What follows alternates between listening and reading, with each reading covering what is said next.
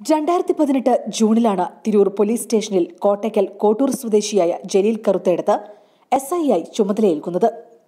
ചുരുങ്ങിയ ദിവസങ്ങൾ കൊണ്ട് തന്നെ അദ്ദേഹം തിരൂരിന്റെ ജനകീയനായ എസ് ഐ ആയി മാറി. കിണറ്റിൽ വീണ യുവതിയെ സാഹസികമായി സ്വന്തം ജീവൻ പോലും പണയം വെച്ച് രക്ഷപ്പെടുത്തിയതുൾപ്പെടെ നിരവധി സാഹസികത നിറഞ്ഞ കാര്യങ്ങളാണ് അദ്ദേഹം ചെയ്തിട്ടുള്ളത്.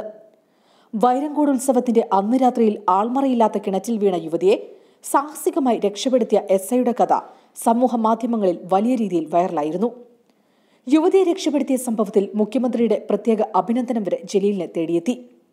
ഷോക്കേറ്റ വീണ യുവതിയെ രക്ഷപ്പെടുത്തിയതും ആഴക്കടലിൽ ലൈവിട്ട് സുരക്ഷാ ക്രമീകരണങ്ങളുടെ ബോധവൽക്കരണം നടത്തിയതിലുമെല്ലാം നാനാഭാഗങ്ങളിൽ നിന്നും അഭിനന്ദന പ്രവാഹമാണ് ജലീലിന് ലഭിച്ചത്.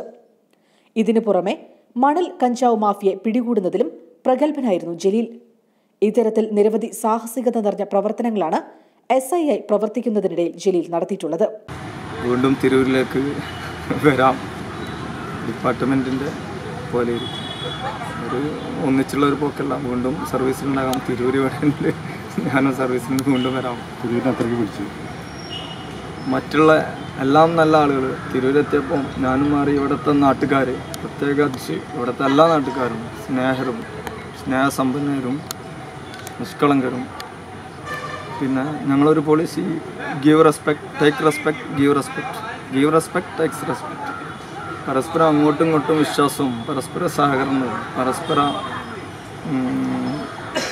പരസ്പരം ആദരവും ഒക്കെ പുലർത്തുന്ന ഒരു വിഭാഗമാണ് ഇവർ അപ്പോൾ ഈ ഒരു ജനത ഈ ഒരു ആളുകളുടെ സ്നേഹം അത് മറക്കാൻ പറ്റില്ല. തീരദേശ മേഖലയിലെ ജനങ്ങളിൽ പോലീസിനോടുള്ള വിശ്വാസം പോലീസിന് അവർക്കും അവർക്ക് പോലീസിനോടുള്ള വിശ്വാസം ഉണ്ടാക്കിയെടുക്കുക എന്നുള്ളതാണ് ഞാൻ ചെയ്തിട്ടുള്ളത്. ഫസ്റ്റ് ഘട്ടത്തിൽ അതാണ് എന്റെ പോളിസി ഉണ്ടായിരുന്നത്. ആ പോളിസിയിൽ ഞാൻ കുറേ വിജയിച്ചു.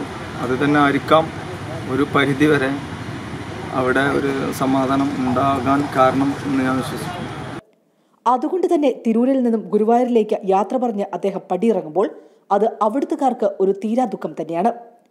രണ്ടായിരത്തി ഏഴിൽ ഫയർഫോഴ്സിൽ സേവനം ആരംഭിച്ച ജലീൽ കറുത്തെടുത്ത് രണ്ടായിരത്തി പതിനാറിൽ പാലക്കാട് ഹേമാംബിക സ്റ്റേഷനിൽ എസ് ഐ ഐ പോലീസ് കുപ്പായം അണിഞ്ഞു. പിന്നീട് മഞ്ചേരിയിൽ ഒരു വർഷവും തൃശൂർ ഒല്ലൂരിൽ നാലു മാസവും പ്രവർത്തിച്ചു. ഒല്ലൂരിൽ നിന്നാണ് രണ്ടായിരത്തി പതിനെട്ട് ജൂണിൽ തിരൂരിലെത്തുന്നത്. ഇപ്പോൾ ഗുരുവായൂർ സ്റ്റേഷനിലേക്കാണ് സ്ഥലം മാറ്റം. തിരൂരിലേക്ക് തന്നെ താൻ മടങ്ങി വരുമെന്നും തിരൂരുകാരോട് ഒരു വല്ലാത്ത സ്നേഹമുണ്ടെന്നും പറഞ്ഞാണ് അദ്ദേഹം യാത്രയായത്. കൂടുതൽ വാർത്തകൾക്കായി ഞങ്ങളുടെ വെബ്സൈറ്റായ Malayalam dot Samayam dot com സന്ദർശിക്കുക.